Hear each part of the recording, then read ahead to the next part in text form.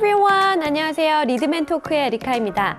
자 오늘은 영어에서 정말 필수 동사죠. 바로 do인데요.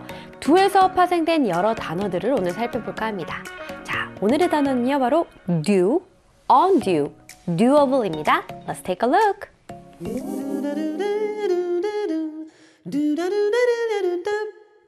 자, 첫 번째 동사입니다. 자, 오늘의 단어는요, 바로 국민 필수 동사이죠. 무엇을 하다라는 뜻의 do라는 단어인데요. 우리가 흔히들 이 단어는 내가 발음도 너무 편하게 잘할 수 있잖아. 이렇게 자신 있다 생각하실 수도 있는데 많은 분들이 사실 틀리게 발음을 하고 있습니다. 뭔가 짧게 뱉는 발음의 do 이런 발음보다는 깊은 느낌이 나는 그런 단어입니다. 그래서 do 이런 발음보다는 do, do 이런 느낌인 겁니다. 그래서 do you have milk? do you have something? do you have a pen? 이렇게 표현할 때 do 이런 느낌보다는 깊게 발음을 해준다는 거 잊지 마세요. 자, do. 그렇죠? 한 번 더. do. 그렇죠. 자, 두 번째 한번 가보도록 하겠습니다. 자, 두 번째는요. 여기 오늘 지금 막 배운 이 do 단어가 있는데 앞에 on이 붙었어요. 그래서 무엇을 할 수 없다라는 느낌이 있죠. 자, 뜻을 보면 무효로 만들다. 뭔가를 무효로 만들다라는 뜻이 있고요. 첫 번째. 그러니까 즉 제 상태로 만들어 놓다라는 뜻이 있고요. 그래서 I can't undo the past. 이렇게 얘기를 하면 나는 과거를 돌릴 수가 없어. 과거를 되돌릴 수 없어. 이런 느낌이 나오는 거죠. 자, 첫 번째. 과거를 뭔가를 제 상태로 돌리다 라는 느낌이고요.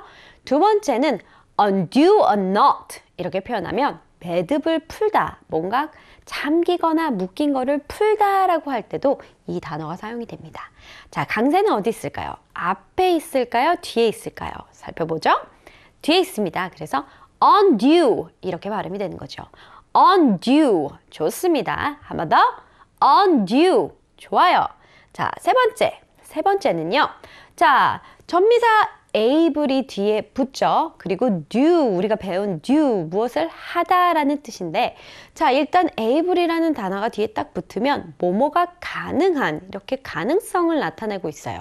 그러니까 하다, 할 수 있다, 할 수 있는 이런 느낌이겠죠. 그래서 무엇가, 무엇이 가능한 이런 느낌으로서 표현할 때는 doable, doable 이렇게 표현할 수 있습니다. 자, 가능성을 나타내는 형용사로서 무언가가 가능하다라고 표현할 땐 is doable 이렇게 표현할 수 있고요. 어, 오늘까지 그거 가능하지 않아요 라고 얘기할 때는 it's not doable by today. it's not doable by today. 이렇게 표현할 수 있습니다. 강세가 어디 있을까요? 살펴볼게요. 그렇죠. 앞에 있습니다. do 단어에 강세가 있다라는 걸 꼭 잊지 마세요. doable. 그렇죠. 한 번 더. doable. 그렇죠. excellent. 자, 이렇게 세 가지 단어를 살펴봤는데요. 오늘 세 가지 단어를 통해서 우리가 문장을 한번 만들어 보도록 하고 또 이 문장을 풀 센텐스로 느낌과 발음 그리고 액센트까지 제대로 한번 잡아 보도록 할게요.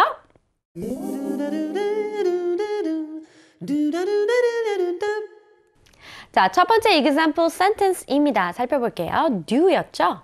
자, 이런 문장이 있어요. What did you do in there? 자, 너 거기 안에서 뭐 했니? 너 그곳에서 뭐 했니? 라는 느낌이죠. 자, 묻고 있어요. What? 그렇죠. 여기에 강세가 있죠.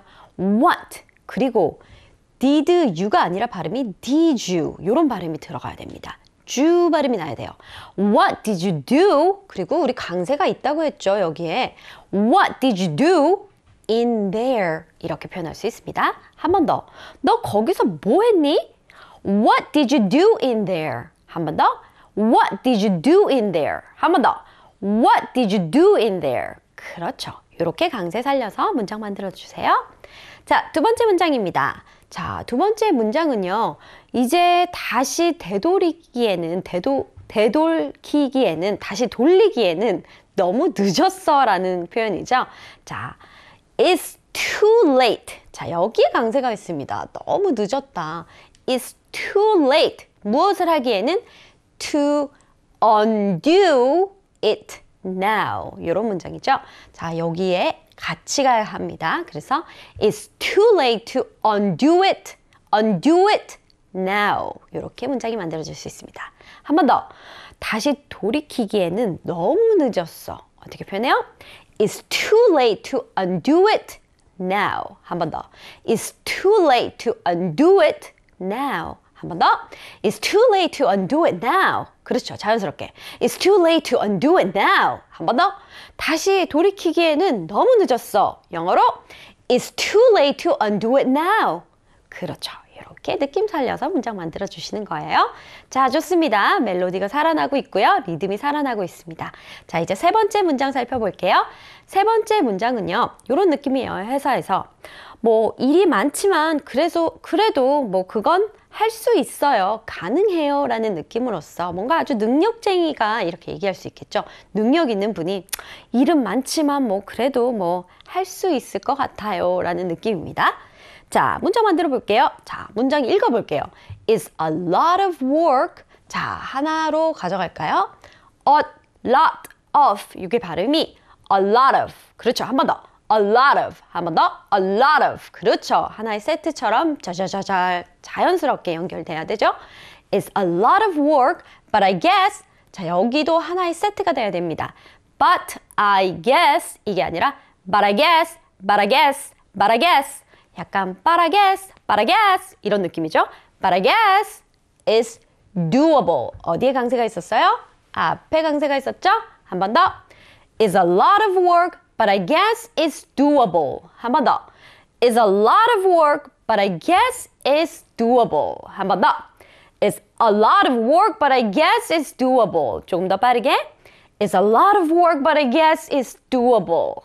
이렇게 표현할 수 있겠죠? 자, 이렇게 확실히 리듬감과 우리가 어디에서 포인트를 줘야 되는지 체크를 해봤는데요. 자, 오늘 배웠던 세 가지 단어 꼭 기억하시면서 우리 오늘의 곡 들으면서 과연 내 listening이 들리는지 체크하고 오겠습니다.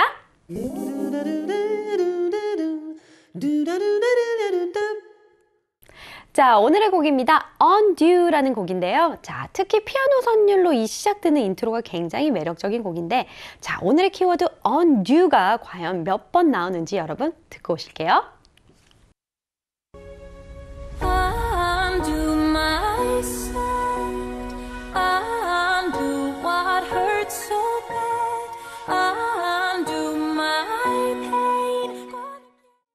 저는 세 번 딱 들렸는데 혹시 여러분 놓치시진 않으셨는지요? 자, 한 번 더 오늘의 곡 들으면서 확실하게 내가 세 번이 들리는지 이 undue 단어를 쫑긋 귀를 세우면서 들어볼게요.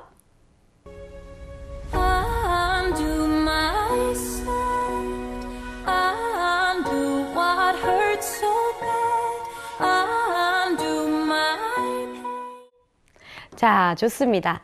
자, 오늘의 곡 한번 가사 살펴보도록 할게요. 자, 이렇게 앞에 시작이 됐습니다. Undo my sad, undo what hurts so bad, undo my pain. 자, 그러니까 나의 슬픔, 그리고 나를 이렇게 아프게 하는 것들, 나의 고통, 그것을 모두 다 제 상, 제 상태로 돌려놔라. 이런 느낌이 있는 곡이었죠. 자, 여러분 이렇게 팝송을 통해서 나의 listening의 향상을 딱 이렇게 끌어올리시길 바랄게요. 자, undo 잊지 마시고요. 자, 오늘의 마지막 코너이죠. 오늘의 마지막 코너를 통해서 우리 speaking 훈련 한 번 더 해보도록 할게요.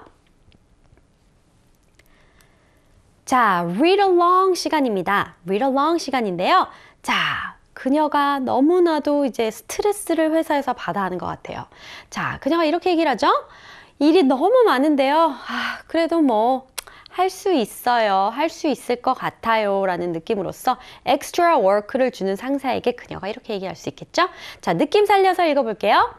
It's a lot of work, but I guess it's doable. 한 번 더. It's a lot of work, but I guess it's doable. 그렇죠. 자, 오늘의 문장이었습니다. 여러분 잊지 마시고 그러면 다음 시간에는 더 알차고 재미난 표현 또 만나요. See you next time. Thank you for watching.